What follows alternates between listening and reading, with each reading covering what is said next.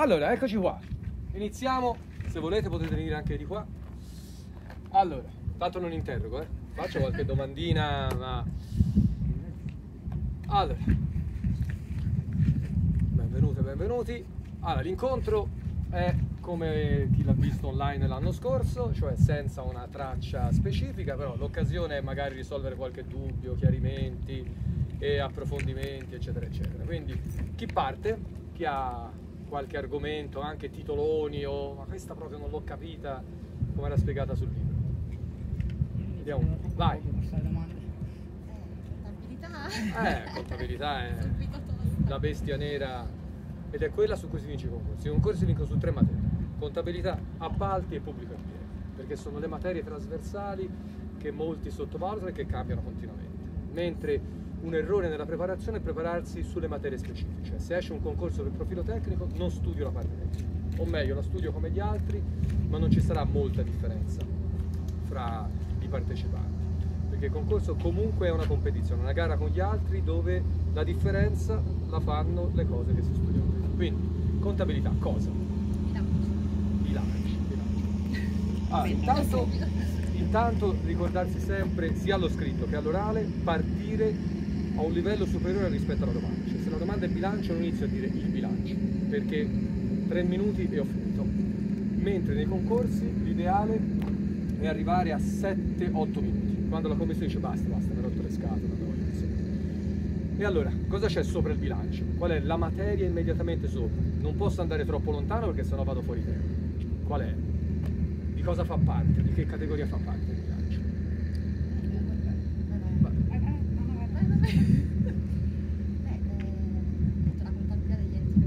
Sì, è un documento contabile, quindi potrei partire da quello, cioè elencare i documenti contabili, oppure il bilancio è uno dei principali strumenti di cosa? Eh, ma di che cosa? Come si chiama? Programmazione. Quindi la materia fondamentale è la programmazione. Allora io posso fare un'introduzione dicendo gli enti locali operano secondo un principio di programmazione, ciclo di Deming, Plan, Do, Check, Act, eccetera, eccetera. La programmazione finanziaria è una delle tante programmazioni. E qui mi gioco subito un jolly. Da un lato ho la programmazione finanziaria e dall'altro che cosa ho? Abbastanza banale. Ricorda sempre nel diritto se c'è un aggettivo vuol dire che c'è anche la cosa con l'aggettivo opposto. Programmazione finanziaria e programmazione non finanziaria. Il PIAU.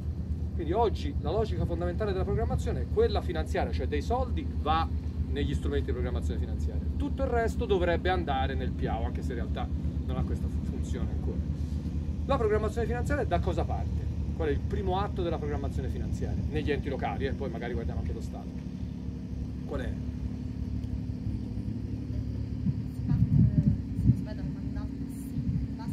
Cioè il mandato del sindaco riguarda tutte e due, perché riguarda la programmazione finanziaria e non finanziaria. Ora il sindaco di numeri ci capisce poco. Il DUP, documento unico di programmazione. Quindi documento unico di programmazione è il principale strumento di programmazione finanziaria e anche strumento di programmazione non finanziaria. Infatti non si chiama DUPF, documento unico di programmazione finanziaria, ma è documento unico di programmazione, perché contiene le risorse nella sezione operativa e contiene anche gli obiettivi nella sezione strategica. Quindi dal DUP nascono il bilancio e nasce il PIAO. Questa è un po' la logica. Ehi, ciao! questa è la logica fondamentale. Quindi il bilancio è documento contabile che è diciamo, lo sviluppo di questa programmazione che però a monte ha una programmazione che non è comunale perché il DUP si basa fondamentalmente sulle risorse che arrivano ai comuni da chi? Dallo Stato e dalle regioni perché la programmazione degli enti locali è ancora fortemente legata allo Stato e alle regioni. Il sistema degli enti locali è un sistema che prevede l'autonomia finanziaria sulla carta, ma il federalismo fiscale non è mai stato fatto.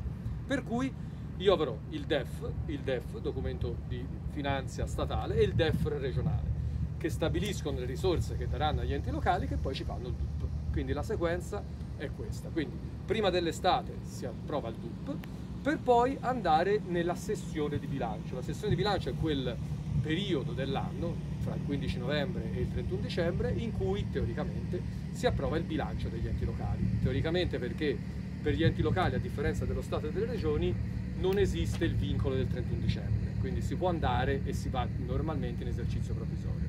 Comunque il bilancio è il principale documento contabile di programmazione finanziaria, cioè programmazione vuol dire che io stabilisco oggi quello che farò domani, a differenza della contabilità economico-patrimoniale, dove il bilancio è refrattivo, il bilancio delle aziende, il bilancio degli enti pubblici economici è un bilancio d'esercizio, cioè un bilancio che guarda al passato. Negli enti locali questo bilancio si chiama rendiconto o bilancio consuntivo. Quindi bilancio, se intendiamo il bilancio di previsione finanziaria, è il principale documento contabile di programmazione dopo il DUP che è il principale strumento non contabile di programmazione finanziaria e non finanziaria.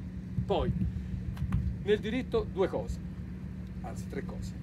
Quando viene fatta una domanda si deve dire cosa è, descrivere il bilancio, chi lo approva e come lo si approva.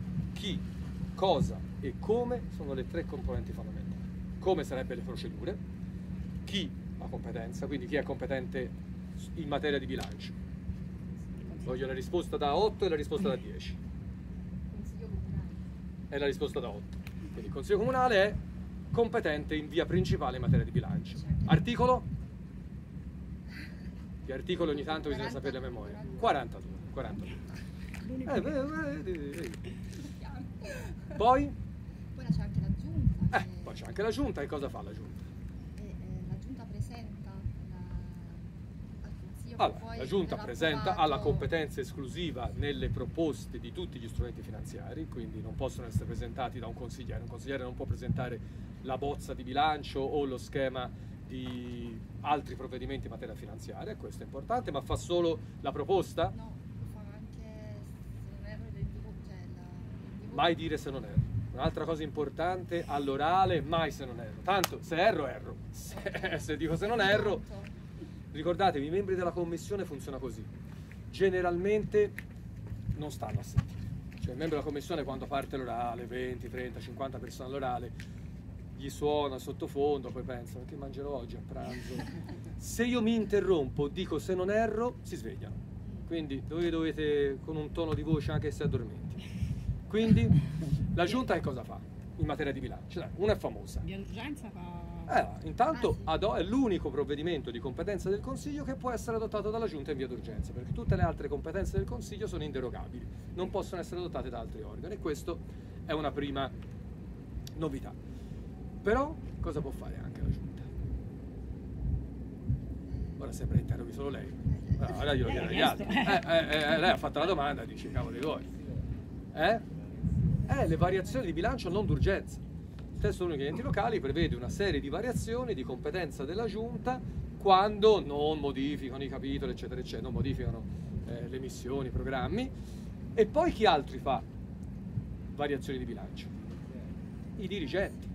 Quindi il TUEL è stato modificato prevedendo una serie di variazioni in analogia a quella che è la riforma della contabilità di Stato, anche questo è un altro concetto importante perché anche in materia di contabilità di Stato lì non, c'è la giunta, ovviamente lì ci sono i, minis- i ministeri che possono adottare alcune variazioni di bilancio direttamente senza ripassare dal Parlamento che approva la legge di bilancio. Parlando di questo aspetto, ecco, un'altra cosa che subito va detta per giocarsi i jolly, allora, l'orale dovrebbe essere fatto così. Io do la definizione, intanto la premessa, poi do la definizione di bilancio, poi cerco tutti i dettagli, articolo 42, inderogabili, giunta, dirigenti, poi mi devo giocare i jolly. I jolly sono le cose che la commissione non si aspetta che uno dica. Tanto più basso è la categoria per cui cor- concorro, B3, C1, DU, tanto più il jolly mi dà punti. A volte io prendo tre punti semplicemente per aver detto questa parola. Vediamo un po' chi gli viene in mente sulla contabilità e sul bilancio. Corte dei conti.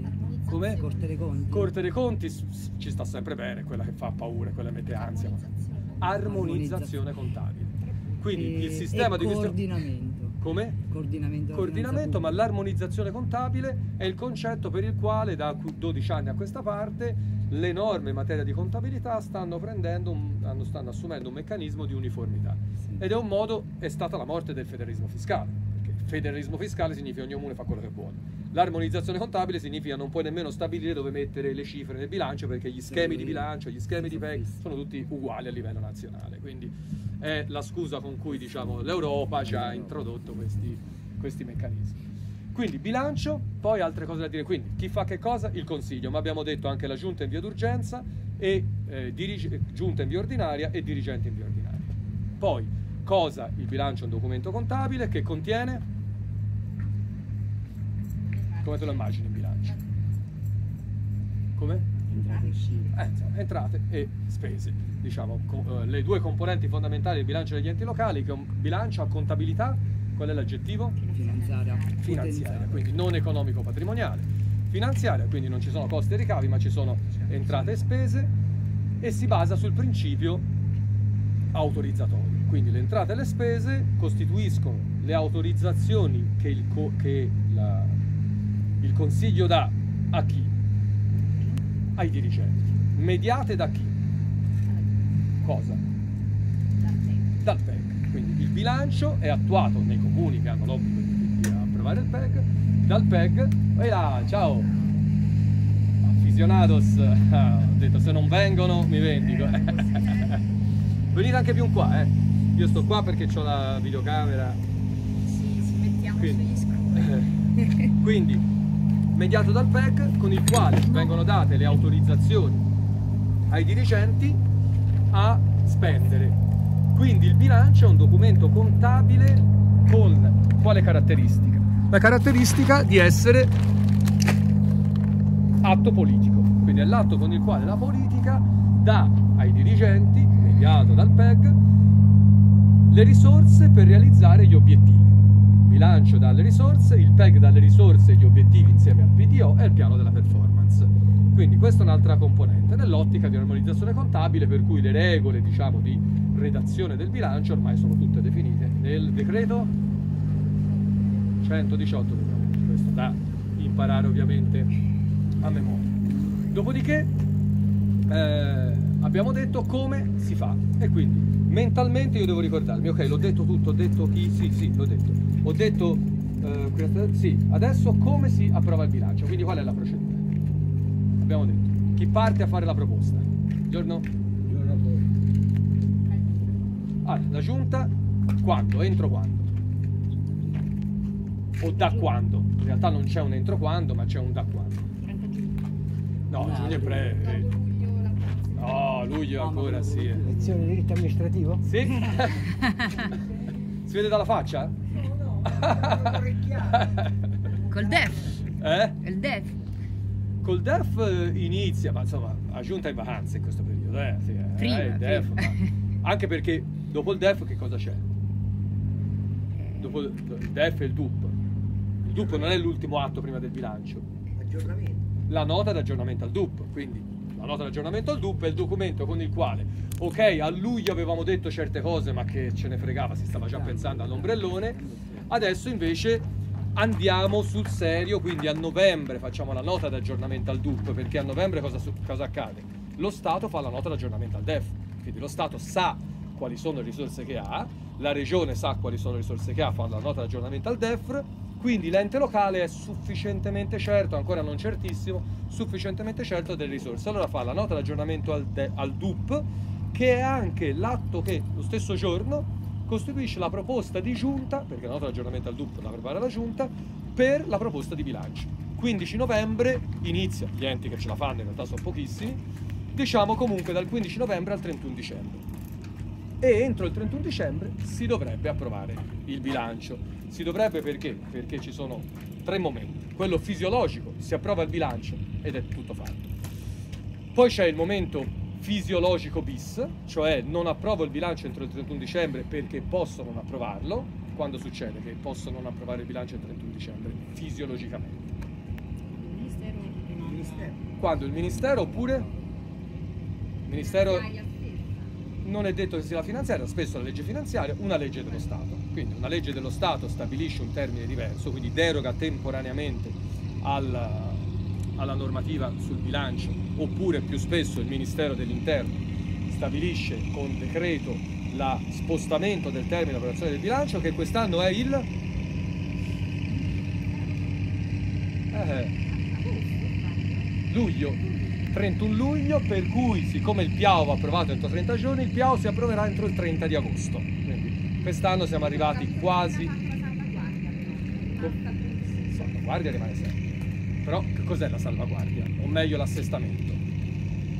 La verifica che il bilancio rispetta Quale bilancio? il bilancio di previsione. Il bilancio, il bilancio in corso. Quindi la salvaguardia rimane sempre. La farai sull'esercizio provvisorio. Quindi tu se non hai approvato il bilancio è perché non è che Se non hai provato certo, certo, certo. Te comunque devi fare...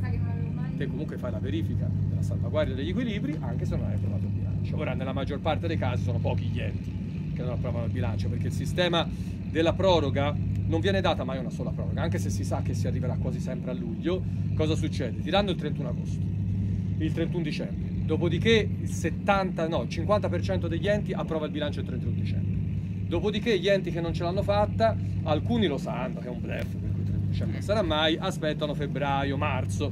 Al 31 marzo c'è sempre il dubbio, per cui molti corrono e rimangono un 10%, poi un 8, poi un 5 e poi va a fantastica. Se non approvo il bilancio il 31 luglio cosa succede? Cosa si fa?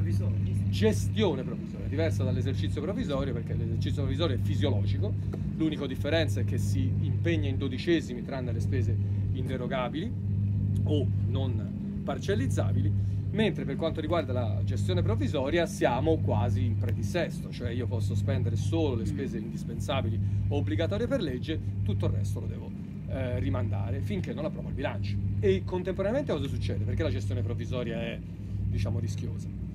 Eh, eh, Cosa potrebbe accadere? Interviene il Ministero dell'Interno. Eh, il Ministero dell'Interno, se se lo ricorda, o se c'ha voglia, se sei di un colore politico diverso, eh, dipende da vari fattori, perché in realtà il testo unico dice se non approvi il bilancio nei termini è causa di scioglimento del Consiglio, ma non è automatico. Il scioglimento del Consiglio per mancata approvazione del bilancio non è automatico, per cui il Ministero telefona, scrive, ma con, con chi ti candidi la prossima volta? Ma eh, insomma inizia tutta una logica che non è soltanto gestionale e poi potrebbe anche sciogliere il Consiglio per mancata approvazione del bilancio, magari se è il terzo anno di fila che non lo approvi o se insomma i conti sono veramente messi male.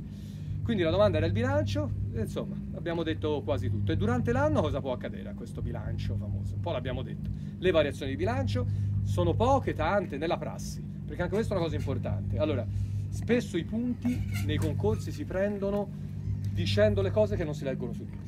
Perché la maggior parte degli studenti, giustamente, Maggioli, Simone, NLD, insomma, i vari manuali, trovano scritte alcune cose, ma un 30% delle cose non ci sono sui libri, perché derivano dalla conoscenza della prassi amministrativa. Spesso chi scrive libri sono avvocati, rispettabilissimi, saluto gli avvocati, ma che non hanno mai visto, mai fatto un atto amministrativo, mai fatto un bilancio. Quindi, un comune, comune di San Benedetto, in fondo all'anno, quante volte fa una variazione di bilancio? Eh, Una, massimo 5 o più di 5. Normalmente, mediamente un comune italiano. Più di 5. Una, massimo 5 o più di 5. Più di 5. Chi vota più di 5 alzi la mano, facciamo un po' di statistica, alzi la mano forse, abbia Tutte coraggio. le variazioni però. Variazioni, variazioni di bilancio di consiglio, diciamo, o di giunta d'urgenza e poi ratificate dal consiglio. Fino a 5? Chi vota fino a 5? Maggior parte. Chi vota una sola? Ok. Questo è tipico e attenzione perché nei quiz si tende a dare la risposta mediana perché ci sembrano estreme le due. Noi siamo conservatori, non sempre sono le risposte giuste. Spesso lo sono, ma non sempre. Molto più di 5. La maggior parte degli enti ormai va sulle 15-20 variazioni di bilancio. Ormai perché? Perché ormai la programmazione è saltata, cioè la programmazione funziona se tu approvi il bilancio entro il 31 dicembre, programmi per 12 mesi, dopodiché eccezionalmente, perché ti arriva il ministero che ti dà il finanziamento, PNRR, un altro finanziamento, tu fai la variazione di bilancio. Ma ormai è talmente saltato tutto, per cui se il bilancio lo approvi a luglio, cioè quando hai già impegnato il 70% delle somme, perché la maggior parte delle somme tu le impegni prima dell'estate, quindi ci hai già impegnato tutto. Dopodiché, ogni volta qual è il trucco che gli amministratori hanno scoperto? Se io programmo bene, poi non posso più prendere decisioni in base all'elettorato. Cioè, se mi arriva il cittadino che vuole fare una cosa, eh no, guarda, ho programmato bene. Voi ce lo vedete un politico che dice no, guarda, non lo faccio, ho programmato bene, soprattutto a fine mandato. No, si fa la variazione di bilancio per mettere due lire da una parte perché si possa fare la manifestazione, l'evento, l'iniziativa. Quindi alcune volte diciamo viene fatta apposta, eh, nel senso dico che eh, la variazione di bilancio è il prezzo che devi pagare per favorire questo o quella in termini politici, eh, non in termini diciamo di corruttivi. Anche perché poi non ti costa nulla. La variazione di bilancio non è che è soggetta a obblighi particolari. Una volta che ti hai verificato che c'è l'equilibrio è indifferente. A differenza di un'altra cosa che invece cos'è quella cosa che insomma non è una delibera di consiglio come le altre, quella gira un po' più le scatole se l'approvo. La variazione di bilancio non la devo comunicare a nessuno, la pubblico come tutti gli altri, come il bilancio. Debiti Debiti. fuori bilancio. Il debito fuori bilancio, a chi lo devo segnalare? alla Corte dei Conti che si incazza. Corte dei Conti tendenzialmente quando vede dei fuori bilancio, a meno che non sia una sentenza esecutiva per la quale il cittadino è caduto dagli scogli e si è fatto male, ci può stare, veramente si arrabbia. Quindi variazioni di bilancio in corso di esercizio e quindi la programmazione come si conclude, diciamo, lo strumento di programmazione finanziaria, il bilancio.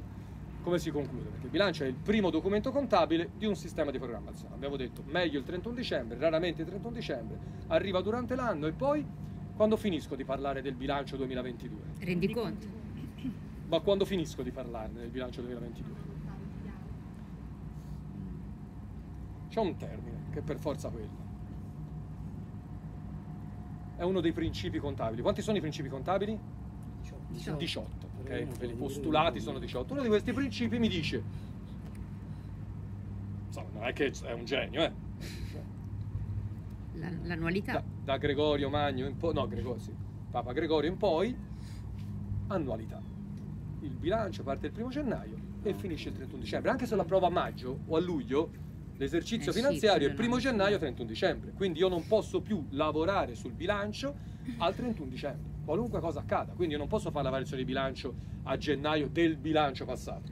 Quindi le farò in corso di esercizio. Alcune variazioni addirittura non le posso fare dopo il 15 dicembre, dopo il 31 di, di novembre, il 30 di novembre, eccetera, eccetera. Quindi comunque la- l'esercizio finanziario si chiude il 31 e poi c'è il rendiconto. Il rendiconto non è altro che la fotografia di quello che ho fatto nell'esercizio precedente. Qual è la differenza fondamentale fra bilancio e rendiconto? Dovessimo riassumerla in pochi concetti. Poi chiudiamo, a me ve lo annoio. Eh, il rendiconto dice la verità, è come è andato veramente. Ah. Cioè, Vogliamo ricordare dove lavori così per le telecamere? eh, no, ha cambiato. Ah. Il rendiconto è la fotografia, ma in, in che modalità è scritto? Vediamo un po' Questo se... lo sai tu. A differenza del bilancio. Bilancio esercizio abbiamo detto in che tipo di contabilità è scritto. Mentre il rendiconto? Economico patrimoniale. Il rendiconto è redatto secondo il principio di contabilità economico patrimoniale. Allora, bellina questa domanda, vai. Dovete alzare la mano via via che leggo la- le opzioni, eh? non potete sentirle tutte. Facciamo una, vari- una variazione sul tema.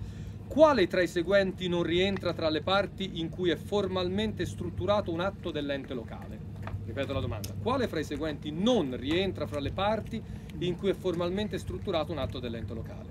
A. Il numero di protocollo. Nessuno lo vota. B. La proposta di deliberazione. C. Il preambolo. Oh, tutti D? La motivazione. di- Alzare la mano, bisogna alzare la che mano. non. protocollo. Lei dice era il protocollo. No, però diceva che non. giusto? Quale fra i seguenti non rientra tra le parti in cui è formalmente strutturato un atto dell'ente Eh, locale? la proposta. Ma la proposta è una. Ah, eh, c'è dibattito, eh, c'è discussione. Lei dice la proposta, La proposta è una. Ma il numero di Mm. protocollo ci sei. il numero di protocollo c'è sempre, il preambolo c'è. Allora iniziamo a togliere. La motivazione c'è. Eh, La motivazione, c'è, la motivazione non può essere. Il preambolo c'è sempre in un atto dell'ente locale? Formalmente sì, eh. Allora, la motivazione è un elemento essenziale dell'atto. Il preambolo è elemento formale dell'atto. Come è fatto un atto amministrativo? Ve Intestazione. lo immaginate? eh? Voi chiudete gli occhi sempre, ricordatevi sempre tecniche di memorizzazione. Bisogna visualizzare un oggetto. Più riuscite a visualizzare un oggetto, più facile è studiare il diritto amministrativo. Quindi mi immagino un atto amministrativo. Qual è la prima parte dell'atto amministrativo? Intestazione. Quindi la carta intestata con il logo tutto colorato, bellino, ufficio di. Poi cosa abbiamo? Ci sta Eh. Sì, No, a volte vabbè. abbiamo degli elementi formali che possono essere dati dalla data e dal numero e l'oggetto, Vabbè, cioè l'oggetto che rappresenta. Sì, l'ufficio fa parte dell'intestazione. Intestazione intendiamo l'ente e l'ufficio Però competente. il protocollo sta prima addirittura dell'oggetto di solito. Come? no? Il protocollo Eh. c'è sempre anche prima dell'oggetto. Sì, allora, però vediamo, intestazione. Poi abbiamo detto, la prima parte del provvedimento amministrativo normalmente è il preambolo. Il preambolo che cosa rappresenta? Cos'è? Se lo dovessimo descrivere, ma mi descriva il preambolo, cosa ci scriverebbe? Considerazione. Eh? Presupposto però potrebbe essere anche la motivazione. La motivazione per definizione sono gli elementi di fatto e di diritto in base ai quali si adotta un provvedimento, quindi è un presupposto. È la narrativa di quello Le che ha portato. considerazioni. No. No, Visto che... sono le- diciamo che sono gli elementi essenziali di un atto, qualunque sia il contenuto dell'atto. Il preambolo è visto il decreto 267 del Eh, 2000, visto lo statuto dell'ente, visto quindi tutti gli elementi che qualunque sia l'atto di competenza di quel dirigente, lui inserisce perché giustifica o la norma di riferimento principale o la norma che gli attribuisce il potere, ad esempio la nomina del sindaco a responsabile del servizio o il testo unico degli enti locali sulle competenze del Consiglio. Quindi normalmente intendiamo per preambolo questa parte di premessa che a volte si confonde con la motivazione, a volte non è facile, a volte viene omessa, ma che si ritiene sia un elemento formale dell'atto. È il copia e incolla. Quando si fa un atto si prende quello precedente, le parti che non si tolgono sono il preambolo. Poi, dopo il preambolo, abbiamo detto numero di protocollo, c'è o non c'è? Allora, qui parla di un atto dell'ente locale. Probabilmente allude a un provvedimento dirigenziale, a un provvedimento amministrativo. Non è proprio corretto perché il numero di protocollo non è detto che ci sia sempre, inteso come protocollo generale. Mentre inteso come protocollo particolare c'è sempre, cioè gli atti amministrativi vengono sempre numerati. Perché sono invocibili. La delibera numero 27 del è quel 27 è un protocollo, è un protocollo particolare, cioè io non ho bisogno di riprotocollare con il protocollo esterno. Quindi attenzione, quando si parla di protocollo non intendiamo il PG, protocollo generale. Mm. Basta che sia un numero identificativo che identifica quell'atto rispetto a un altro. Questo c'è sempre. Effettivamente anche le circolari sono numerate, circolari però sono interne. Possono essere numerate o gli può essere attribuito un protocollo esterno. L'importante è che ci sia univocità, cioè io so sempre che tipo di atto di, di cui sto parlando. E poi abbiamo la proposta di deliberazione che non è elemento dell'atto amministrativo, è un presupposto, può non esserci, ok? Può non esserci formalizzato. Eh, quando cosa parliamo della proposta di deliberazione? Che iter ha la proposta di deliberazione? Intanto chi la può fare? Chi è titolare del potere di proposta di deliberazione? Dirigente, responsabile di servizio, poi anche se nella prassi non succede mai, però teoricamente sono pagati per quello. La giunta, abbiamo detto, la delibera di consiglio, la delibera di, bilancio la presenta la giunta, quindi la proposta deve venire dalla giunta. Poi, chi è? Sono pagati per quello, eh, pigliano anche un bel gettone. Consiglio. Chi è il consiglio? Il consiglio non esiste. I consiglieri, i singoli consiglieri. Quindi ciascun consigliere può proporre le delibere da sottoporre al, al consiglio o i singoli membri della giunta da proporre alla giunta. Quindi teoricamente il principale soggetto che può proporre delibere è il singolo consigliere. Poi di fatto non lo è perché non conosce la materia, non saprebbe come scriverlo, chiede agli uffici, sono gli uffici che preparano la proposta di deliberazione. Una volta presentata la proposta, cosa accade a questa proposta? Qual è il passaggio successivo? All'ordine del giorno. Alla commissione. Allora, essere messa all'ordine del giorno, commissione, ok, parliamo della delibera di consiglio, quindi la proposta di deliberazione normalmente nei comuni in cui sono previste le commissioni, non tutti i comuni sono previste, o per le materie per le quali, ciao, ciao, No, più giù vai. Pensavamo un tratto nuovo. questa è selezione, noi dobbiamo fare selezione, Mezz'ora di ritardo, di camminata, però... mettetevi pure dove volete, non davanti alla videocamera. Ma dai, vieni, vieni. Quindi, proposta di deliberazione che va a eh, essere presentata eventualmente in commissione e poi in consiglio, ma prima c'è uno step. Non sempre, però nella maggior parte dei casi c'è. L'elaborazione di un documento istruttorio Mm? al fine di valutare Eh? i fatti di... La parola istruttorio è fondamentale. Come si chiama l'esito di questa istruttoria? Pareri? I pareri di regolarità tecnica e contabile. Le proposte di deliberazione sono soggette ai pareri obbligatori non vincolanti dei responsabili del servizio, cioè quello che è competente su quella materia, e del responsabile del servizio finanziario se ha effetti diretti o indiretti dal punto di vista finanziario. Non tutte le delibere, tranne qual è quella che non è soggetta a parere, per cui non c'è bisogno di chiedere.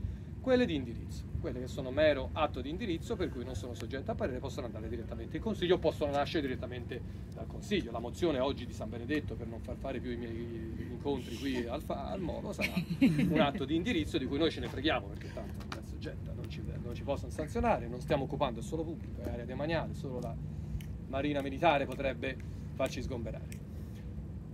Vai, altri argomenti. Io intanto cerco altri. Chi vuole lanciare dei temi, anche fuori dagli enti locali, diritto amministrativo, cose che non vi sono andate giù. Il principio di rotazione dell'articolo 49. principio di rotazione. Allora, parliamo in generale del principio di rotazione, perché eh, la pubblica amministrazione ha questo elemento fondamentale in generale. Noi esseri umani tendenzialmente siamo statici, cioè non ci piacciono le novità. Io stesso sono tornato qui dopo un anno nello stesso posto, mezz'ora prima, eh, perché ora vi porterò alle 4, vedrete, due tre datemi due o tre anni e vi porto alle 4. Eh, eh, non ce la farai. per cui, principio, diciamo, uno dei principi de- delle organizzazioni pubbliche è la stabilità. Questo in generale è eh, una finalità di ogni organizzazione, quella di reggere nel tempo e di consolidare delle procedure, delle prassi, tant'è che abbiamo una legge sul procedimento amministrativo che per definizione è statica. Cioè, la legge 241 mi dice cosa devo fare, non è che me la posso inventare volta per volta che cosa devo fare. Proprio perché la continuità, i processi, le procedure sono un elemento che caratterizza l'organizzazione. E eh, tant'è che esistono anche dei modelli organizzativi internazionali per consolidare queste procedure. Come si chiamano? Quando un'organizzazione è seriamente organizzata, cosa fa? Fa un passaggio. Non pensate agli enti locali, eh? questo è un collegamento, diciamo, logico. Voi vedete un'azienda, ci vedete un marchio, si chiama un bollino, certificata ISO. ISO 9000, ISO 9001, ISO 9001-2015 sono, è una certificazione internazionale che mi attesta che quell'azienda, io non so se fa bene i tortellini, non so se cucina bene il pesce, non lo so, ma so che ha dei processi standardizzati. Ogni volta che va a preparare la zuppa di pesce la fa in quel modo e al negozio, al supermercato so che l'ha fatta secondo un processo standardizzato. Se fa questo è improbabile che escano difetti nella produzione. È il sistema moderno, per cui tutte le macchine sono dello stesso tipo, hanno le stesse caratteristiche. Nel Novecento ogni macchina è diversa dall'altra, ogni prodotto è, ogni... se vai in un ristor- ristorante tipico non troverai mai il tortellino prodotto come, veniva, co- come è stato cucinato la volta precedente. Vai da McDonald's e ti trovi gli hamburger fatti allo stesso modo, con tutte le caratteristiche. Devo suggerire gli ombrelli la prossima volta. Quindi, questo è un elemento importante, cioè la standardizzazione non è comunque un elemento contrario alla logica dell'amministrazione. Qual è però il problema? È che la standardizzazione genera nelle pubbliche amministrazioni momenti di potere, cioè mette nei soggetti nella possibilità di esercitare il potere non necessariamente per una finalità di pubblico interesse. Allora il legislatore è intervenuto prevedendo alcuni principi. Uno di questi principi è il principio di rotazione. Rotazione che vale nel- nell'organizzazione, la rotazione del personale, non solo dirigenziale, quindi chi è al vertice in primo luogo, ma anche chi non è al vertice, dovrebbe periodicamente cambiare e su questo la maggior parte delle amministrazioni non riesce, soprattutto gli enti locali, perché se sei in 15 in un comune cosa ruoti? Se sei in 50 un pochino meglio, se sei in 200 dovresti riuscire a farlo, quindi la rotazione è anche funzionale all'organizzazione, piano an- nazionale anticorruzione, PIAO, devono stabilire i criteri in base ai quali si fa la rotazione del personale nella pubblica amministrazione, pena la violazione delle norme in materia di anticorruzione, ma ce l'abbiamo anche in materia di appalti. In materia di appalti il principio di rotazione ha un altro scopo, diciamo simile eh, da certi punti di vista. Perché? Perché come il dirigente che da vent'anni che lavora all'ufficio appalti può farsi influenzare, può diciamo maturare un potere perché stando lì da tanto tempo io potrei diciamo essere interessato a eh, contattarlo. Da un altro punto di vista l'impresa che si trova già ad essere fornitore dell'amministrazione può maturare lo stesso rapporto di potere. Perché? Perché io ti faccio il servizio di pulizia delle strade, di pulizia delle scuole, conosco l'ambiente, eh, so che, che esercito bene. Qual è il rischio per un'impresa che non ruoti, cioè non venga sostituita da un'altra impresa? Cosa potrebbe scegliere di fare? Altera la concorrenza. In che modo? In che modo altera la concorrenza? Sì, sì, lo stavi dicendo. Eh, sanno che tanto sono loro gli appaltatori, quindi magari ti alzano i prezzi. È una legge di mercato inevitabile. Se voi qui avete un chiosco che vende pesce, il primo anno lo venderà a 90 centesimi al chilo, il secondo anno, sapendo che rimarrà qui e non ci sono altri chioschi in giro, lo farà a 1,20 euro perché utilizza la posizione che ha di mercato per aumentare i prezzi. È fisiologico, è naturale, è una legge di mercato, inevitabile. Se io invece so che una volta che mi sono aggiudicato l'appalto L'appalto successivo potrei non averlo aggiudicato se non faccio un'offerta congrua, per cui se chi ha il chiosco qui l'anno dopo deve andare a gara, non potrà scegliere di fare un euro, e 20, che potrebbe non aggiudicarselo. Allora farà un'offerta da un euro magari, da 95 centesimi, perché sa che deve vincersi il posteggio. È sempre avvantaggiato. Perché? Perché già lavora qui, non ha costi di installazione, quindi deve soltanto lavorare sul prezzo, mentre un nuovo che arriva deve fare un prezzo che gli ripaghi l'investimento. Quindi ha già un vantaggio concorrenziale, ma non lo può sfruttare appieno. Quindi, principio di rotazione degli affidamenti, che è l'unico che è rimasto nel codice dei contratti, ricordatevi la novità è fondamentale questa, il vecchio codice prevedeva la rotazione degli inviti e degli affidamenti, perché anche gli invitati, diciamo, hanno un vantaggio competitivo, mentre il nuovo codice lo prevede solo per eh, gli aggiudicatari. Significa metterlo nella condizione, nell'ansia di sapere che due, tre anni, ma poi dopo quel prezzo me lo devi tenere più basso, altrimenti sei fuori dal mercato. Questo è un, un concetto fondamentale che è molto simile. Vai. Io vado. Oh. Vai, ciao. Ciao, ciao. Prego. Aspetta, però volevo questa scena, guardatela. Questa è la scena del nostro futuro. 80% donne e gli uomini che piano piano escono. Questo è i, i concorsi, eh, tu- tutto, la vita, perché abbiamo una vita media. Ancora non i dirigenti, però. No, ma intanto fisicamente duriamo 5, 4-5 anni in meno, per cui anche quella è una cosa che ce ne dobbiamo fare una ragione. Fra un po' perderemo anche queste le ultime prerogative che abbiamo, la nostra generazione, la generazione che vedrà anche questo. Vai, prego. Ah, fondo pluriennale vincolato. No,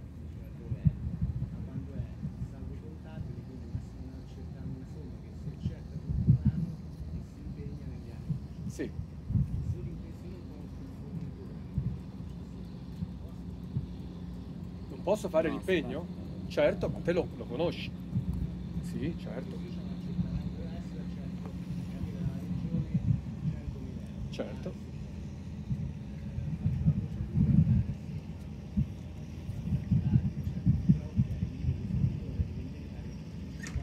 Allora, prima poi mi fai l'esempio. Allora, riepiloghiamo cos'è il fondo pluriennale vincolato. Allora, dal punto di vista definitorio è un saldo contabile che si genera quando si realizza questo meccanismo. Intanto è l'alter ego dei residui attivi e passivi. Quindi, normalmente, quando io ho una somma accertata che alla fine dell'esercizio non ho riscosso, si forma residuo attivo. Se è una somma impegnata che non ho liquidato, si forma residuo passivo. Questa è la regola in generale. Il legislatore dell'armonizzazione contabile si è inventato, e alcuni l'hanno criticato, nel senso che non era indispensabile, non c'era nella legge delega e non c'è nella nei principi contabili generali, cioè il fondo pluriennale vincolato è un'altra cosa jolly da dire, non esiste nella contabilità privata, ok? È un'invenzione della contabilità finanziaria pubblica generato fondamentalmente per questo. Siccome gli enti pubblici, soprattutto gli enti locali, ricevono numerosi finanziamenti, il 70% della finanza degli enti locali è ancora derivata, cioè cosa vuol dire? Che non è generata dalle proprie entrate, è generata da quello che ti regala babbo Stato o mamma Regione, ok? Quindi non facciamo con i nostri soldi, il federalismo fiscale è fallito. Allora, cosa succede? Io ho un trasferimento di una somma che quindi io accerto. Quindi il provvedimento con il quale accerto questa somma è il tipico atto di accertamento. Quali sono le fasi dell'entrata? Certamente. L'acronimo? Dai, come no, no, non ci credo, non vi ricordate ARV? Arv. ARV, ARV, accertamento, riscossione, versamento. Ricordatevi, cercate di memorizzare quanto più possibile acronimi, targhe, numeri, perché rimangono molto più impressi che non i concetti. I concetti svaniscono, mentre la visualizzazione, cioè io mi vedo una bella insegna tipo un ristorante ARV, oh guarda c'è il ristorante ARV, accertamento, riscossione, versamento. Quindi fase di gestione d'entrata, la cosa più importante degli accertamenti, ora cambio, eh, per- per- oggi serve per ripassare. Qual è il concetto fondamentale delle fasi di gestione dell'entrata?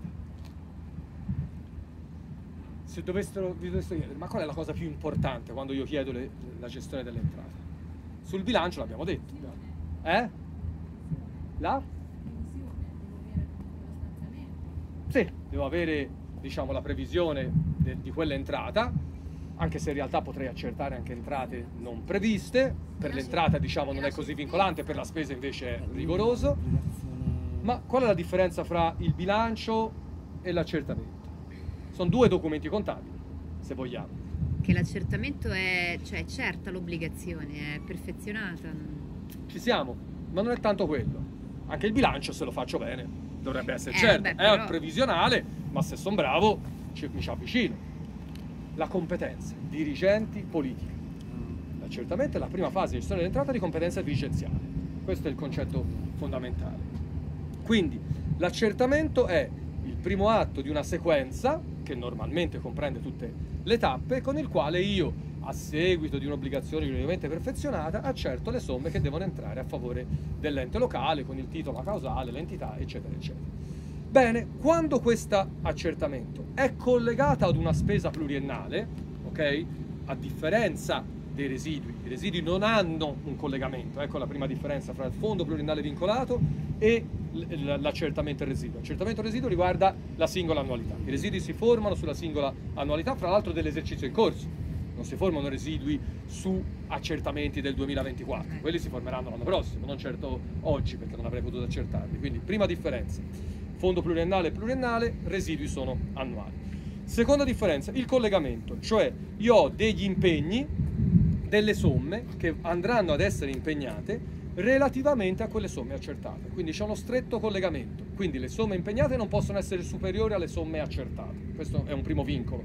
Quindi avrò un'entrata che si spalma in due o più esercizi finanziari, rispetto ai quali io farò i relativi impegni, che posso non fare al primo anno. Io gli impegni li posso prendere anche negli anni successivi. Quindi il fondo pluriennale vincolato si fonda laddove io, a seguito, il mio classico esempio, di 100 di entrate, perché la regione mi ha dato 100 euro per rifare il faro. Benissimo? Ok, io faccio un atto di accertamento di entrata di 100 euro. Fino a quel momento nessun problema.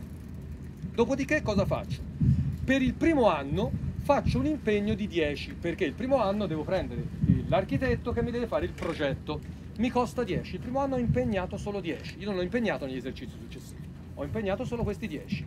I 90 euro di differenza, che in condizioni normali non avessi questo legame andrebbero a residui, vanno in fondo pluriennale. Perché? Perché so già che li impegnerò. Non è detto che li impegni quest'anno. L'anno prossimo ho 90, il fondo pluriennale vincolato è di due tipi. Fondo pluriennale vincolato in uscita, fondo pluriennale vincolato in entrata. Quindi i 90 diventano fondo pluriennale vincolato in uscita dell'anno 2023 In- che si trasforma in 90 fondo pluriennale vincolato di entrata 2024 che va a finanziare il resto. L'impegno lo faccio in quel 2024, quindi non ho l'impegno. Il primo impegno lo devo comunque avere, se no non si fonda fondo pluriennale. Quindi il primo impegno, anche solo di 10, anche solo di 1, lo devo avere, se no non si forma fondo pluriennale, ma si formerà differimento dell'accertamento all'anno successivo. Cioè se i soldi l'ho avuti, avrò un fondo pluriennale vincolato pari a 100, non ho fatto nessun eh, impegno. Non spendo niente, 100 di fondo pluriennale vincolato in entrata dell'anno successivo, perché c'è questo collegamento. Faccio l'impegno l'anno dopo. Uguale, uguale. Certo, certo, certo. Io posso, posso impegnare anche tutto. Perché? Perché la gestione provvisoria, l'esercizio provvisorio, no, l'esercizio provvisorio che opera in dodicesimi non riguarda le spese non frazionate. Siccome quel contributo l'ho fatto per realizzare il faro, io dovrò impegnare tutto quello che è nel cronoprogramma che ho detto alla regione e che prescinde dai dodicesimi. Quindi se io avessi previsto che non serve progettare, serve ristrutturare il faro, il 90% lo devo spendere il primo anno, io spendo il 90% anche a gennaio del 2024, anche in deroga ai dodicesimi. Spiegherò che non si applica il vincolo dei dodicesimi. Anche perché non ho grandi problemi perché è tutto finanziato dall'entrata. L'esercizio provvisorio vuole evitare che tu spenda risorse che poi non sono certe, perché tu stai spendendo sulla base di previsioni d'entrata che potrebbero non realizzarsi, perché sono riferite alla seconda annualità dell'ultimo bilancio approvato e te vai a sapere te se ce l'avrai. Invece in questo caso non ci sono problemi, va sempre, va sempre in deroga, diciamo, secondo il cronoprogramma va, va sempre in deroga.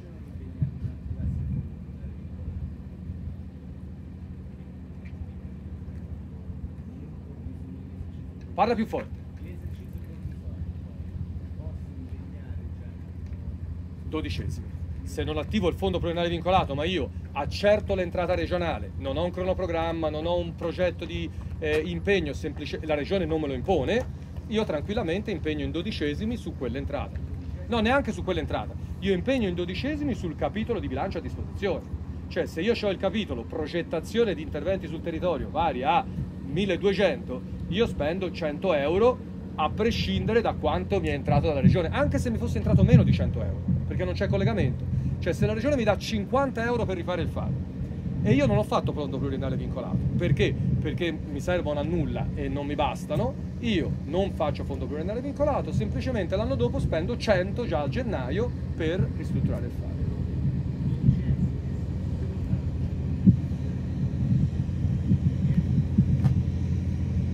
Io devo, fa- devo fare se forza l'impegno in dodicesimo. Poi posso fare la procedura di affidamento anche più completa.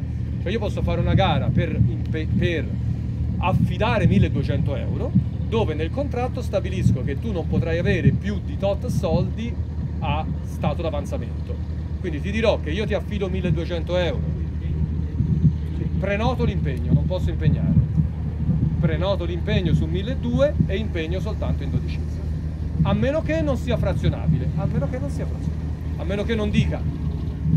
Sì. Però non posso fare un impegno maggiore per renderlo non frazionabile. Cioè, il trucco quale potrebbe essere? Beh, io ho messo 1200 e non è frazionabile. No, se è frazionabile perché l'architetto eh, può fare un lavoro ripartito, poi consideriamo che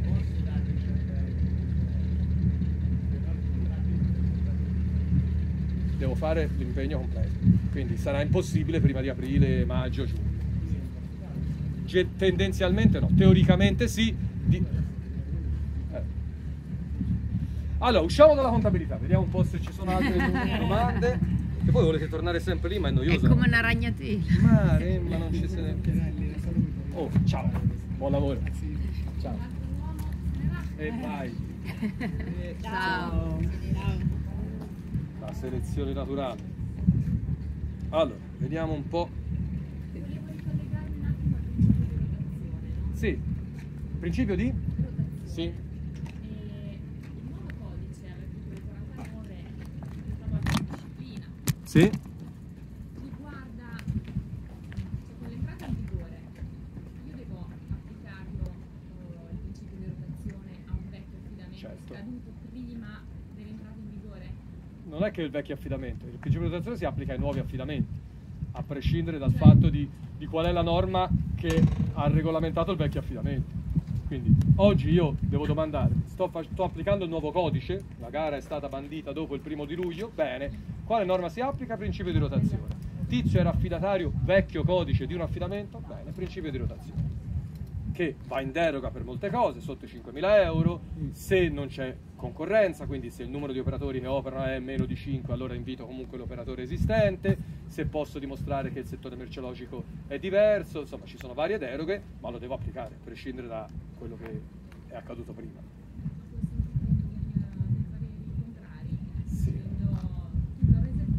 mondo del diritto è fatto di tanti che... affidamento poi eh, verrà applicato però non considerando quelli che sono stati eh, prima dell'entrata in vigore o perlomeno scaduti prima dell'entrata in vigore del nuovo codice Allora, normalmente chi dà pareri di questo tipo è interessato ad affidare a qualcuno, cioè non è la teoria generale, è che c'hai qualcuno a cui affidare, ti inventi che esiste la teoria generale per cui il vecchio codice non disciplinava gli appalti. Il vecchio codice disciplinava gli appalti, fra l'altro, per un principio che esisteva.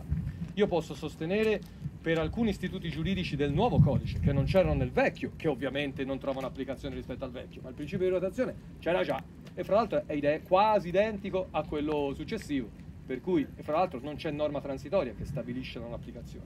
L'unica eccezione riguarda gli affidamenti nei settori sociali, o meglio, gli affidamenti a favore di enti del terzo settore. Perché nelle norme transitorie 225,8, qualcosa del genere, devo ancora imparare i numeri, però eh, nelle norme transitorie non è previsto l'articolo 49 relativamente agli affidamenti del settore sociale a favore degli enti del terzo settore. Questa è l'unica considerazione, anche se taluno ritiene che si applichi anche a loro, però non è espressamente richiamato. Quindi in questo caso, se l'avevo applicato finora, comunque nel nuovo posso non applicarlo. Io ho un una domanda rispetto a un esempio pratico di questo problema. Sì. Eh, io lavoro in un ente molto piccolo Sì, che ha eh, una scuola di musica sì, che ogni anno eh, veniva affidata a un'associazione che era l'unica a partecipare alla manifestazione di interesse rispetto alla gestione annuale. Sì. Quindi per risolvere il problema dell'invito si pubblicava il piccolo avviso, tutti quelli che eh, presenteranno la manifestazione di interesse verranno invitati a presentare Sì. offerta, solo loro si presentavano e solo Beh. loro venivano invitati a presentare offerta. Bene, Ora io con il nuovo codice cos'è una concessione, non è un appalto? eh, Quella sarà una concessione di un immobile per servizi di scuola, di no, musica. Era proprio un, diciamo un, un appalto dove Ma cos'è? L'appalto significa che tu mi fai una prestazione di servizi e io pago. Esatto. Cosa pagavamo? noi pagavamo un contributo per ogni persona iscritta. No, non è un contributo, non è un, un Cioè, appalto. un- Quello è un contributo, è una concessione con contributo. Tecnicamente è partenariato pubblico-privato nella forma della concessione con contributo. Siccome le spese sono maggiori dei ricavi, i costi sono maggiori dei ricavi, io dal piano economico-finanziario che devo però io fare, riscuotevo anche la retta. Io, ris- io co- Io comune, sì. quindi io riscuoto la retta di quelli che pagano. Sì. Ok, loro mi gestiscono, diciamo, la Mi il scuola. servizio e io pago un tot a ragazzi iscritti. Allora potrebbe E essere l'offerta era configurato. ribasso rispetto a una quota. Io Ok, fissavo allora- la quota annuale a 100 e mi veniva fatta Sì, l'offerta un di po', ribasso. un po' singolare, ma potrebbe essere un appalto di servizi. Cambi- cambia, non cambia moltissimo, eh, però diciamo Come sì. Ok. questo aspetto? Cioè, ho Beh. solo questo operatore che, che vuole Euri? farlo. Euri? Pochi, 15.000 euro l'anno al massimo. Bene. Seconda cosa, mh, da quanti anni va avanti questa scuola? Da- Non due, non no, tre. Perché fare l'affidamento annuale è da domandarselo. Intanto gli affidamenti si fanno nel periodo confacente al tipo di servizio. No, lo so, lo so, per rimanere sotto soglia, ma si chiama frazionamento artificioso. Il frazionamento artificioso può essere legato a una singola prestazione o legato a un arco temporale. Quindi in quel caso fa va troppe fatto. domande, sa già le risposte, non le faccio. Va fatto un affidamento decennale se- di sei anni, di tre, almeno di tre anni, perché so che quella scuola non chiuderà, perché rientra nel programma di mandato, quindi figuriamoci se, se chiude. Fermo restando che al quarto affidamento, anche se io lo faccio separato anno per anno, io ho fatto frazionamento artificioso, il quarto lo faccio con procedura non di affidamento diretto. Fra l'altro sto facendo una procedura abbastanza trasparente perché faccio un avviso, chiunque può partecipare, Ma si può continuare ad utilizzare questa modalità della manifestazione? purché sia triennale, quadriennale, quinquennale, perché ovviamente io posso non essere interessato. Qual è il trucco? Cioè, Diciamo, io non, non, non necessariamente ad un voluto. anno, ma da almeno a 5. Diciamo perché? Perché per un anno nessuna scuola Eh. viene a comprare gli Impiantare. strumenti, mettersi lì, per cui faccio annuale perché tutti gli anni gli amministratori vogliono capire che se viene uno nuovo lo caccio, cioè faccio in modo che, diciamoci, tanto è inutile nascondersi, però che quello che vogliono l'amministratore non ce ne può fregare di meno, quindi io gli proporrò di fare quinquennale per cercare il principio di concorrenza, articolo 3 del nuovo codice, io devo cercare quanti più operatori possibili. A me mi piacciono, spiegano bene, suonano il piano fantasticamente, però loro sono come tutti gli altri. Quindi io devo andare a cercare la soluzione migliore. La soluzione migliore è andare sul mercato, soprattutto quando c'è un solo operatore. Quando c'è un solo operatore è un'anomalia, è un'anomalia del sistema. Soprattutto in un settore dove tanti possono esserci. Cioè non è che le scuole di musica ci siete solo voi. Vuol dire che è un problema o territoriale, cioè i soggetti che vengono hanno difficoltà a venire nel mio territorio perché è isolato, perché il numero di bambini è ridotto o perché appunto il problema del, del tempo. Non è accattivante la, la cifra e quindi devo lavorare su quello. Questo è l'unico modo per applicare correttamente il principio di risultato. Perché? Perché se non faccio così, quella scuola ha un potere concorrenziale che domani gli consente di poter gestire cose extra che io non conosco, per cui fanno le lezioni il pomeriggio e la retta non la pagano a noi, ma la pagano direttamente. Insomma, fenomeni che poi nel tempo ovviamente si manifestano. Vai! Limiti per le soglie per le concessioni. Qual è quello che ne 5 milioni 382. Per, Se io fare una concessione di 130.000 euro, o una che di 200.000 euro, 200.000 euro per cosa? Che concessione? Sì, per quanti anni? Perché tre anni? Pre- prevedi una strage dei bambini? della- cioè, le concessioni infraquinquennali sono un'anomalia. No, questa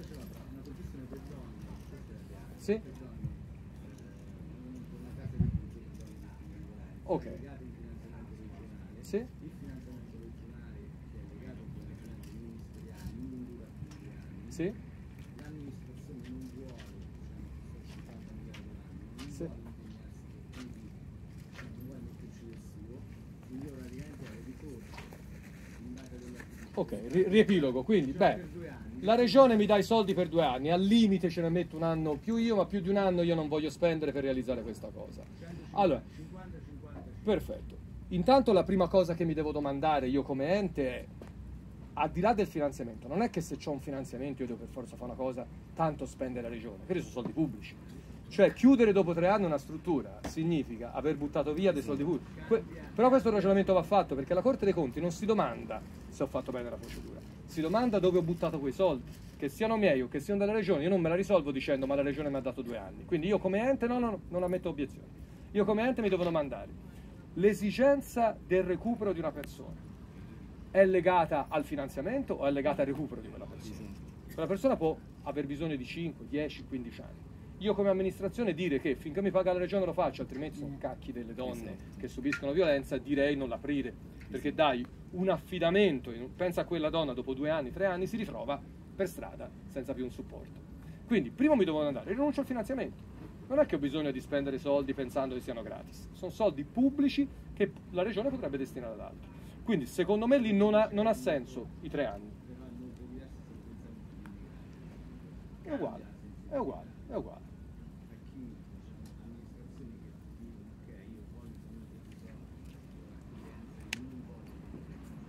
Quella è una scelta politica. Io sono tecnico, a me politica non me ne frega niente, io sono tecnico e dico dal punto di vista manageriale una struttura finalizzata al recupero di soggetti, che siano immigrati, che siano donne, che siano uomini, che siano persone con disagio, non può avere un orizzonte temporale di due anni. Quindi non ti do il parere di qualità tecnica. La vuoi approvare? Non ti do il parere di qualità tecnica. Si fa quinquennale, decennale, di cui due anni finanziati dalla regione. Magari al terzo anno, se funziona, perché la regione cosa dice? Io ti do due anni, poi se funziona te ne do altri due. Ok? Quindi, da questo punto di vista, secondo me il primo scoglio è quello. Se la faccio a dieci anni, forse vado sopra la soglia quel punto vado sui 5 milioni 382. Se la faccio biennale sono sotto la soglia, che non cambia molto, eh, perché sopra la soglia è procedura aperta. Sotto la soglia devo adottare io le procedure per l'affidamento della concessione e quindi farò un avviso di manifestazione di interesse, farò... È una cosa, scegli te le procedure, sì, sì, è una cosa tua, scegli te le procedure. Sì. Competitiva con negoziazione, con al- Certo. Allora, sotto i 5 mil- il principio fondamentale è sopra i 5 milioni 382 c'è un interesse transfrontaliero certo. Cioè io devo fare una procedura aperta perché un operatore francese può venire a fare. Può venire a farlo. Sotto, poiché a meno che non ci sia un interesse transfrontaliero certo, perché se la faccio per immigrati è probabile che ci sia e quindi non posso non applicare procedure che prevedono anche la partecipazione di operatori stranieri, in questo caso probabilmente è limitato, probabilmente le esigenze sono settoriali, ad esempio un intervento di ristrutturazione dopo un terremoto, dopo un evento che riguarda il nostro territorio.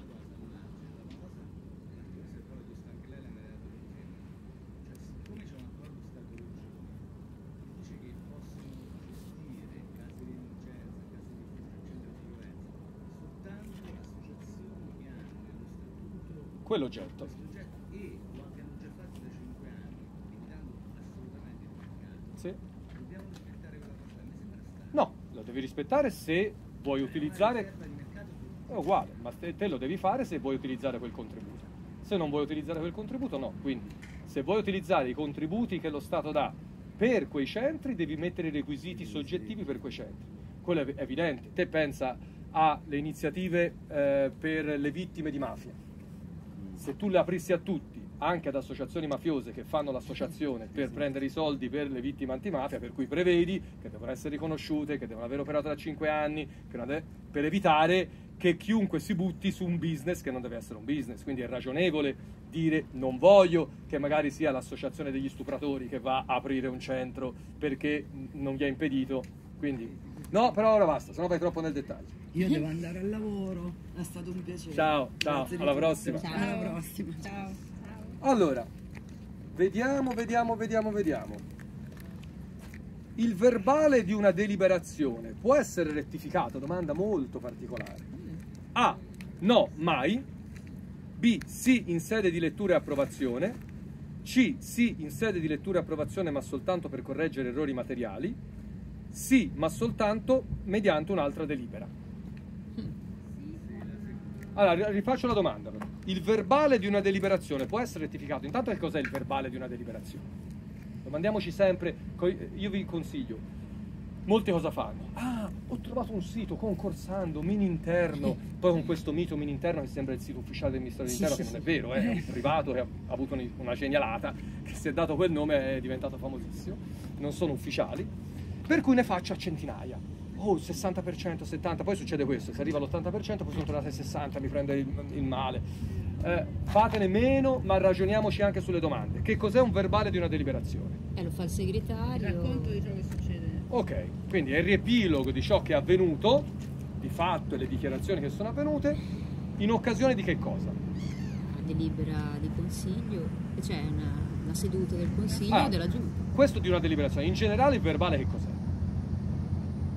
È la trascrizione scritta di ciò che è avvenuto di una riunione collegiale, verbale di una commissione di concorso, di una Ah, commissione giudicatrice, del consiglio. Perché? Perché gli organi collegiali non esistono, mentre le persone fisiche, diciamo, parlano eh, e quindi possono scriversi le cose, i dirigenti possono scriversi le cose, i, eh, gli organi collegiali discutono, narrano e quindi ci deve essere qualcuno che trascrive ciò che viene detto. Quindi la trascrizione di una deliberazione dove io ho scritto che il consigliere ha dichiarato che il sindaco è scemo. Il consigliere può chiedere di correggerla perché non ha detto che è scemo, è proprio imbecille, cioè lui vuole che sia messo agli atti. Che, oh, che scemo, io ho detto è proprio imbecille. Allora, non mai. Secondo voi vi torna che non può essere? Verbale è ciò che il segretario comunale, con atto facente fede, trascrive. Intanto, il verbale quando viene fatto? Il verbale di una commissione.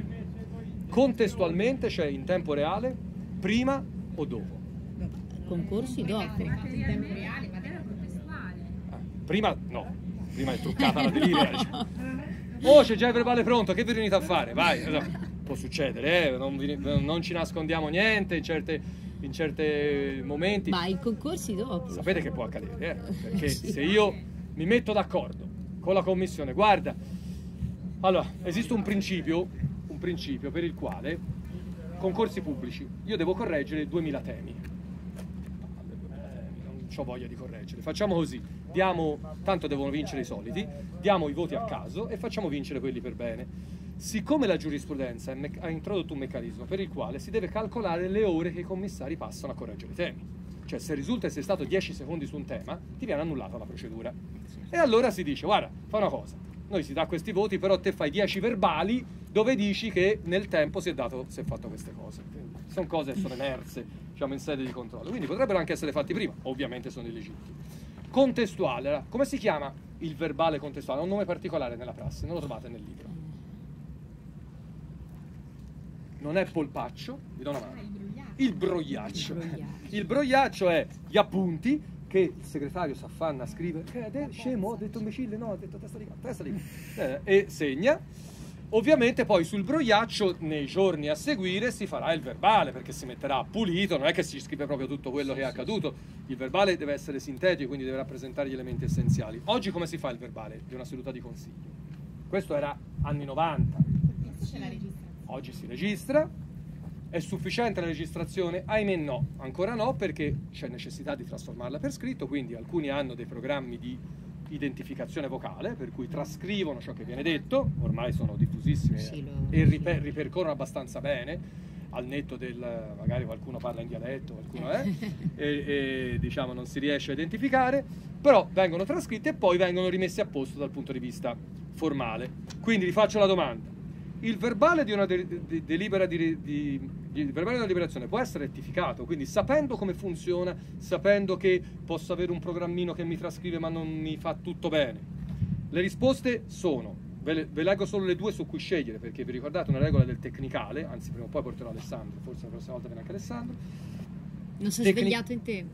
No, no, non è qui, non è qui. Ah, ecco. Regole del tecnicale 1. Sì, fra due risposte simili, qui abbiamo sì in sede di lettura e approvazione. La seconda è sì in sede di lettura e approvazione, virgola, ma soltanto per correggere errori materiali. La risposta giusta è sempre fra una di queste due. Ricordandovi questa regola, che la, eh, la virgola può introdurre o un elemento di precisazione oppure un elemento di errore. cioè io posso aver messo la virgola per precisare, e quindi quella è la risposta corretta, o per mettere una cosa sbagliata, si chiama specchietto per le allodole, cioè votami, votami. Allora, ripeto, il verbale di una deliberazione può essere rettificato A, eh, diciamo B, sì in sede di lettura e approvazione, senza altre aggiunte, C, sì in sede di lettura e approvazione, ma soltanto per correggere errori materiali. Questo. Lei dice C, chi dice C? Alzate la mano, no, voglio vedervi in faccia. Non siete videoregistrate, quindi potete negare poi. Chi dice B invece? Gli ignavi? Non vota. Allora, pensiamo a cosa potrebbe essere. Intanto cosa sono gli errori materiali? È ortografia. E chi lo stabilisce cosa sono errori materiali?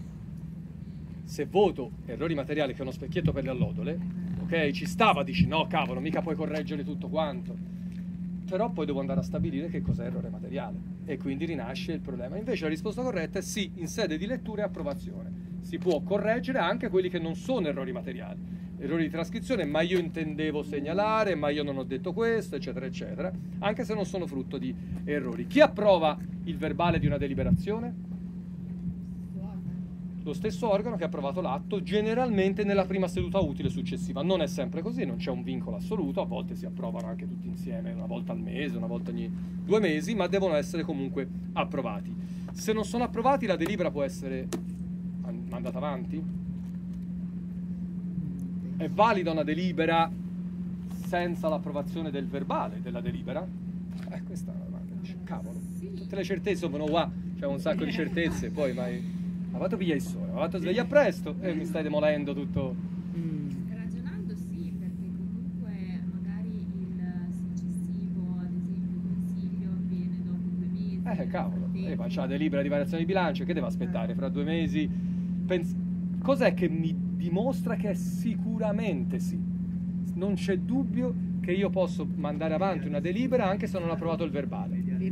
Eh cavolo, se addirittura io posso mandare avanti una delibera senza che sia pubblicata perché gli ho dichiarato l'immediata eseguibilità, dove sicuramente il verbale non l'ho approvato, figuriamoci le delibere. Quindi normalmente l'approvazione del verbale, ovviamente, se poi quel verbale viene modificato sostanzialmente, eh, può creare problemi. Cioè se io la correzione è non volevo deliberare A, ma volevo deliberare B, è un problema di legittimità dell'atto. Normalmente sono piccole correzioni, anzi, normalmente il verbale non se lo fila nessuno. Allora, ah, bella domanda. Le ordinanze sindacali devono sempre avere forma scritta? Hmm, Pensate Covid, emergenze. A. No. B. Sì. C. Soltanto qualora siano contingibili ed urgenti. D. Soltanto qualora si rivolgono alla generalità dei cittadini. Intanto i provvedimenti amministrativi devono avere sempre forma scritta?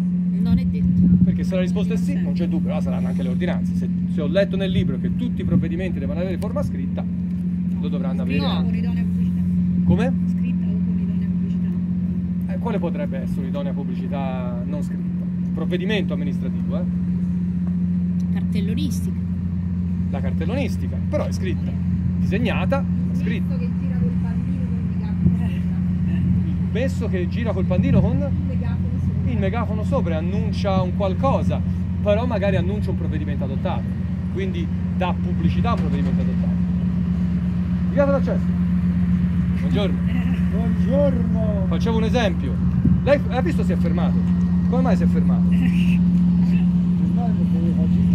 Perché... Ah, fa ginnastica la mattina? Complimenti. Faccio passare.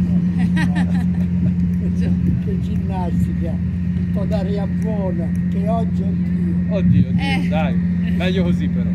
Aspetti, se la può mettere un po' più avanti perché abbiamo la telecamera, se no finisce sul telegiornale. Ah, ecco qua.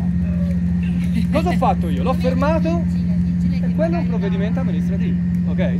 Quindi ora non lo multo perché sono buono. Però Incompetenza assoluta. Quindi, sì, le ordinanze sindacali devono sempre avere forma scritta. Sì, le ordinanze sindacali. I provvedimenti amministrativi no. Ovviamente un'ordinanza che può essere contingibile od urgente o ordinaria è prescritto. Allora, ditemi voi se avete delle domande particolari. Ah, Che è nato qui vent'anni fa, te sei nato qui vent'anni fa? eh, quando non c'era, Non c'era il molo? no, facevo la traversata anche,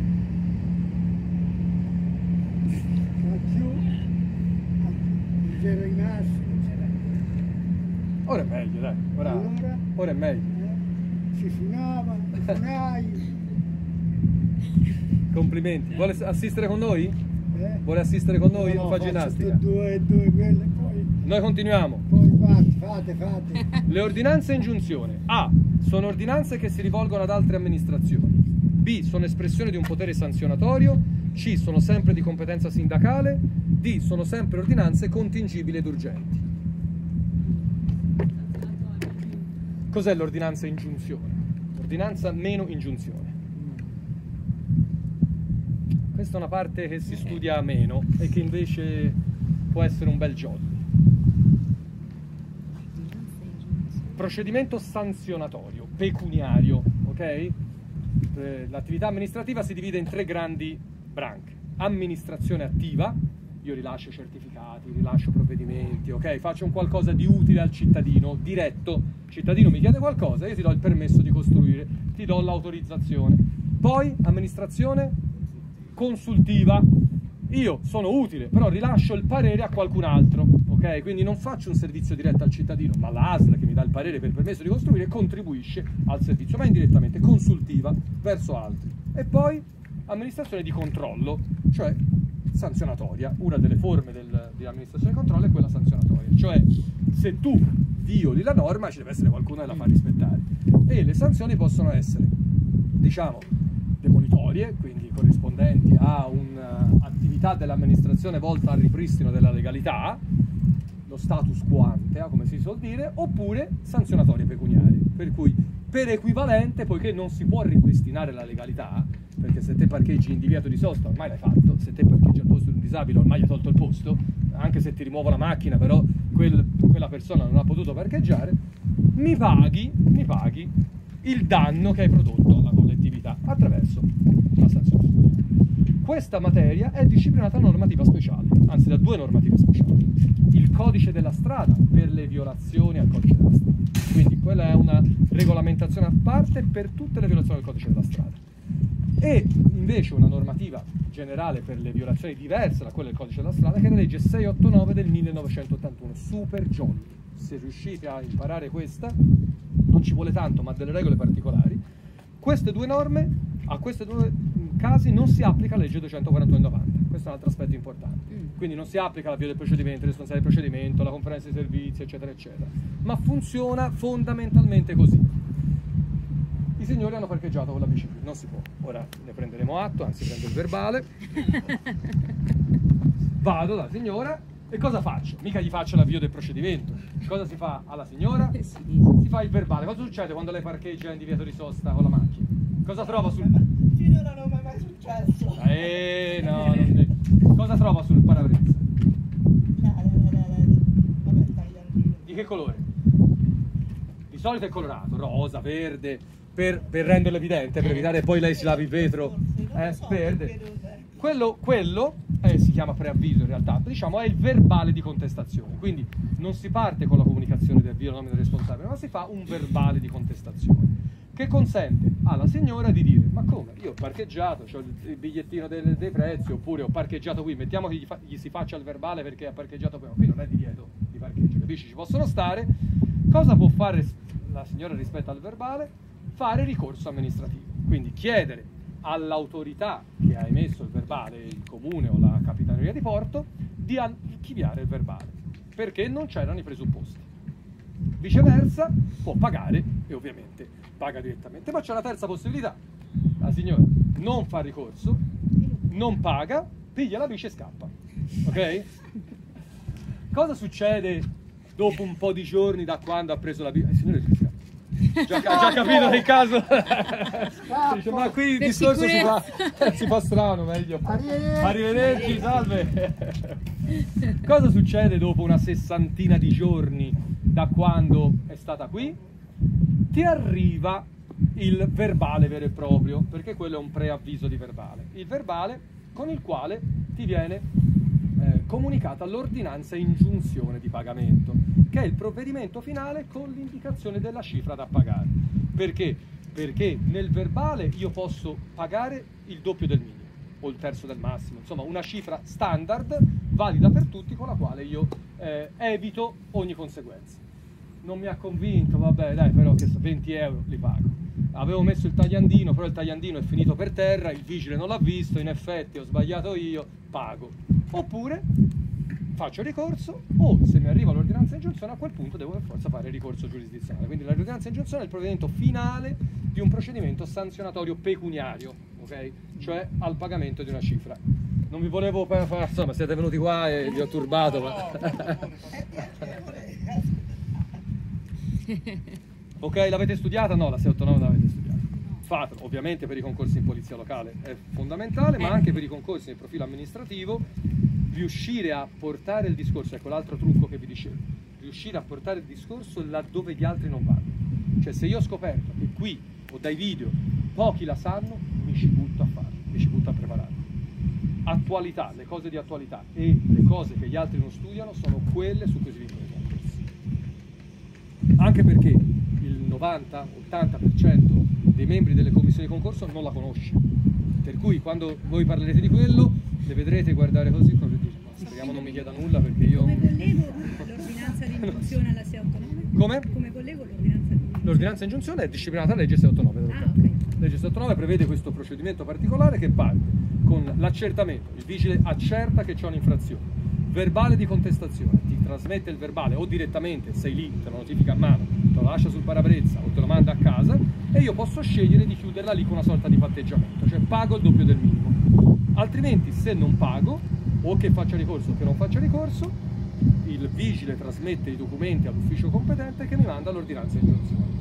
Cosa che sanno in pochi, l'ordinanza di ingiunzione non è legata al doppio del minimo, cioè è in un range fra il minimo e il massimo. Per questo le sanzioni amministrative non hanno mai una cifra fissa. Cioè quanta è la sanzione per la violazione del divieto di pesca sul molo? Non c'è una cifra fissa, fra 1000 e 5000. Chi lo stabilisce? Lo stabilisce l'autorità competente in sede di ordinanza di ingiunzione, tenuto conto dell'interessato. L'interessato è venuto qui e ci ha messo 10 canne da pesca, beh, allora è il massimo. Era una sola canna da pesca e lo fa a titolo, diciamo, non professionale. Allora, non aveva mai commesso violazioni. Una volta che gli ho detto che stava sbagliando ha tolto la canna da pesca, che è diverso da quello che continua a pescare nonostante gli faccia il verbale. Quindi tenuto conto di tutte queste circostanze si determina l'applicazione della sanzione. Simone, anch'io vado al lavoro. Ai, ai. Questa mania ad andare a lavorare, non ci sono più dipendenti pubblici di una volta. Grazie per la visita, speriamo di vederci con più calma. Vai, E ciao. avere novità presto. Ciao. Fammi sapere per quest'ultima cosa in particolare. Buona continuazione. Ciao, grazie. Allora, l'interesse legittimo. Oh, queste sono domande un po' noiose ma che capitano. Tanto che ore sono? 8 meno 10. Mm, tanto- Grazie, arrivederci, buona giornata. Ci sei sempre fare matematica, lei insegnato. Ah, Bravo. gran- grandissimo. Grazie, grazie. Simone Chiarelli mi trova su YouTube e anche questa No, videoregistrazione. voleva sapere che... Preparazione ai concorsi. Lei era insegnante a scuola? Anche lei ha fatto i concorsi. Qualche anno fa, ma... Attenzione, magari. Eh, ora è in pensione?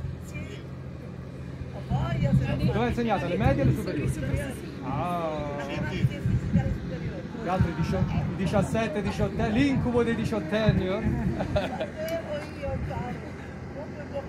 Grazie. Adesso la vedranno con occhi diversi. Eh sì, ora sì. Arrivederci. L'interesse legittimo può definirsi un interesse A. Tutelato solo amministrativamente. B. Indifferenziato e generico. C. Differenziato e qualificato. D. Immediatamente tutelato.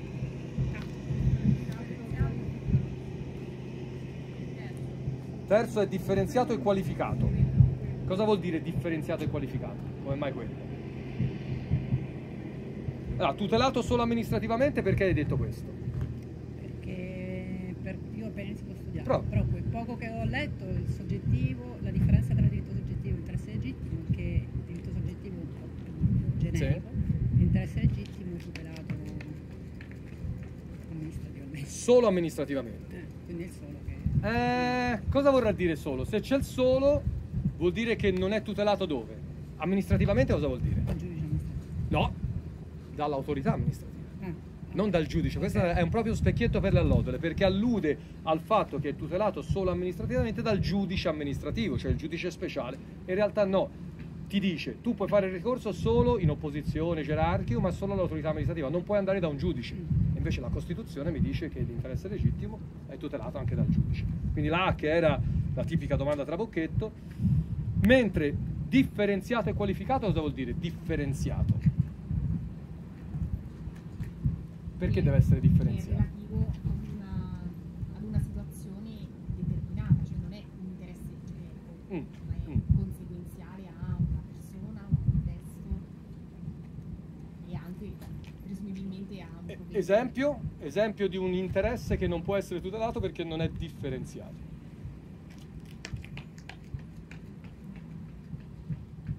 Quindi non ho un interesse legittimo. L'amministrazione fa un provvedimento con cui vieta di venire con le biciclette sul molo. Questo è, a fronte di questo provvedimento, un interesse non differenziato, perché io non posso venire, l'altro non può venire, chiunque non può venire. Io vengo con la bicicletta e mi fanno un verbale. Che interesse ho? Differenziato. A me che è stata applicata la sanzione, ho ammesso che sia un interesse legittimo, ma pensiamo sia un interesse legittimo, oppure tutti quelli che abitano in via Roma non possono venire sul molo in bicicletta. Allora quello è un interesse differenziato. Per cui il mio è diverso dall'altro. Qualificato significa che l'ordinamento gli riconosce una particolare tutela che è quella amministrativa e giurisdizionale. Qui è difficile perché si usano paroloni concettuali.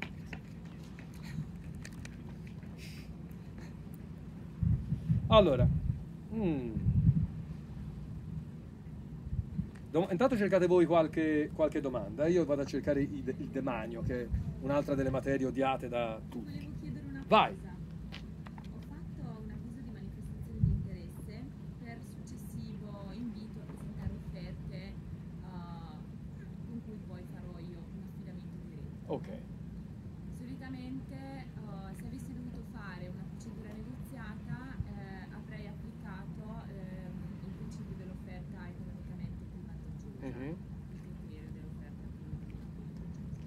In questo caso io richiedo solamente i preventivi a queste eh, due cooperative che hanno partecipato, hanno mandato la manifestazione di interesse. sì? Io non sono costretta a nominare una commissione. No, anzi, È ah, ripeto il caso. Ok, io sto facendo un affidamento diretto perché sono sotto i 140.000 se sono servizio e fornitura o 150.000 se sono lavori, per cui sto facendo un avviso nel quale dico chiunque è interessato a fare questa attività nel settore socio, educativo, culturale, quello che deve essere, eh, mi mandi la sua manifestazione di interesse. Ricevo la comunicazione che sono interessato, non mi viene fatta nessuna offerta, sono interessato. Io mando una lettera di invito con il quale dico ok, ora che siete interessati, senza far conoscere l'esistenza dell'uno rispetto all'altro, perché comunque la segretezza va mantenuta anche in caso di affidamento diretto, perché il principio di concorrenza è il principio in base al quale non si devono mettere d'accordo, perché se sanno dell'esistenza l'uno dell'altro cosa succede? Ok, guarda, questa vincila te e io farò un'offerta molto più alta, la prossima me la fai vincere. Quindi attenzione a questi principi che non si ricavano così direttamente dal codice, ma sono fondamentali, la giurisprudenza è costante su questo. Quindi senza far sapere all'uno dell'esistenza dell'altro, gli dico ok, fammi un'offerta. Primo, scrivere chiaramente che siamo nell'ambito di un affidamento diretto, perché la giurisprudenza dice che se tu fai una procedura strutturata, con un avviso, con una successiva lettera di invito, magari nomini una commissione, possono avere un legittimo affidamento che sia una procedura negoziata. Allora si applicano tutte le norme sulla negoziata, anche se tu pensavi di fare l'affidamento diretto. Quindi gli devi dire, guardate, è un preventivo, non sono obbligato a assegnartelo, potrei non avere i soldi in bilancio, perché nell'indagine di mercato per affidamento diretto non devo fare la determina contraria, nella negoziata devo fare la determina contraria, quindi io non ho fatto determina contraria e non si applicano i criteri di aggiudicazione, quindi non è né un prezzo più basso né un'offerta economicamente più vantaggiosa. Sono io che in base a criteri che posso predefinire, ma posso anche non predefinire, dirò che in base a ciò che mi dite io decido l'affidamento. L'importante è la motivazione. Come mai l'hai data a quella che ti fa pagare di più? Mi fa pagare di più, ma mi dà dei servizi accessori migliori. Mi fa pagare di più, ma inizia il primo di settembre, quell'altra iniziava il primo d'ottobre. E siccome i bambini devo mettere in aula il primo di settembre, lo do a loro. L'importante lì è la motivazione. È un affidamento diretto, non... Allora, non la devo chiamare commissione giudicatrice. Posso farmi assistere come RUP da esperti che non ho bisogno di convocare contestualmente. Io mando i progetti a tre esperti, due esperti, gli dico, oh, che ne pensate? E loro mi dicono, è una sciocchezza, questa attenzione, quindi non la chiamerei commissione e non le farei riunire contestualmente. Gli chiederei un parere sull'aggiudicazione. Altre? Vai, materie. Intanto vi faccio una domanda così, buttata là. Non rientra nel demanio accidentale. A. Il demanio stradale. B. Il demanio storico, archeologico, aeronautico. C. Il demanio ferroviario. D. Il demanio idrico.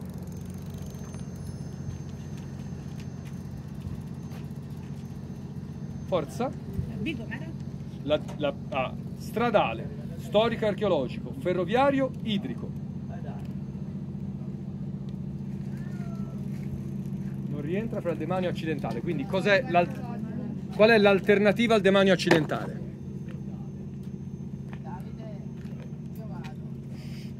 Il demanio è di due tipi. Ah, I beni del patrimonio sono demaniali e del patrimonio indisponibile e del patrimonio disponibile. Tripartizione.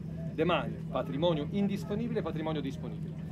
Il demanio sono quelle cose che non possono essere distratte per natura dalla loro funzione pubblica, il modo. Ok? Questo ha una funzione pubblica che non consente di poterlo di- distrarre. I beni del patrimonio indisponib- indisponibile invece sono beni che finché sono destinati a quella funzione hanno una funzione pubblica. Il palazzo comunale, finché è sede del comune, ha quella funzione. Quando il comune se ne va via, io lo vendo, lo affitto, faccio quello che voglio. Beni del patrimonio disponibile sono appunto quelli di cui posso disporre tranquillamente. All'interno del demanio si distingue il demanio necessario che per natura è demaniale, quindi quel bene è sempre demaniale, e quello accidentale, cioè è demaniale se ricorrono certe condizioni, cioè in particolare se la proprietà è di un ente pubblico. Quindi, fra queste cose ci potrebbero essere delle cose che non necessariamente sono di un ente pubblico. Ecco l'importanza di domandarsi sempre la domanda. Stradale. Le strade sono sempre di un ente pubblico?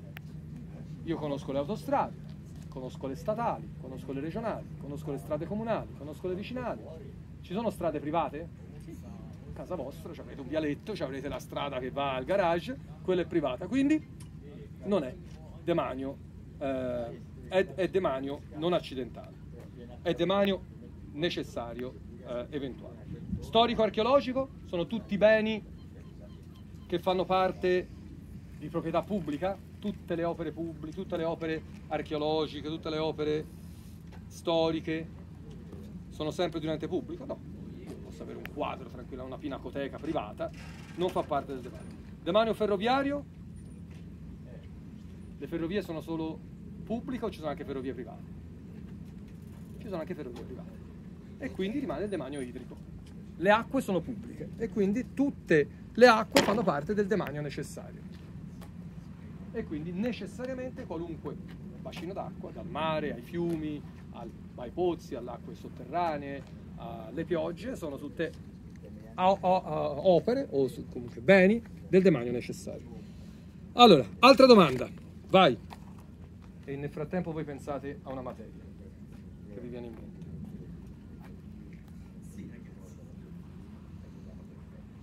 Alcuni suggerimenti mentre voi ci pensate. Allora, si diceva quando si risponde ad una domanda, che sia un orale o che sia uno scritto, struttura della logica. Premessa, mai dimenticare la premessa. Quando si va direttamente alla risposta, spesso si dura poco, spesso eh, non si dà la possibilità